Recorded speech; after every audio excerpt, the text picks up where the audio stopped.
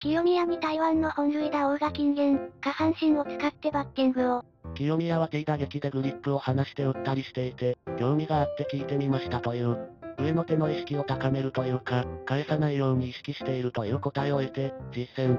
すごい感覚が出やすかった。一つ引き出しになったかなと明かした。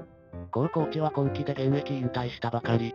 2014年からは3年連続本塁打に輝き、台湾代表として2017年の WBC にも出場した大砲。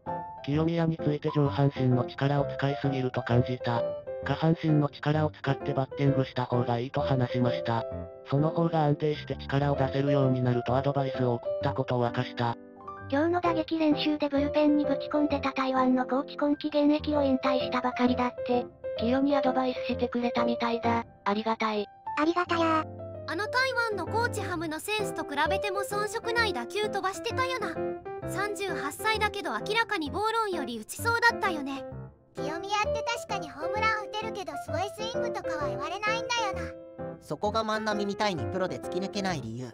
実際シーズン終盤は手打ちになってて失速する打球ばっかだったもん日ハム清宮さん台湾コーチからの指摘は前から言われてたことじゃないのか？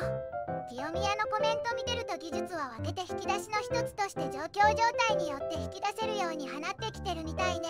清宮はジャパンにも選ばれなかったしドライブラインで成長しないとそろそろやばい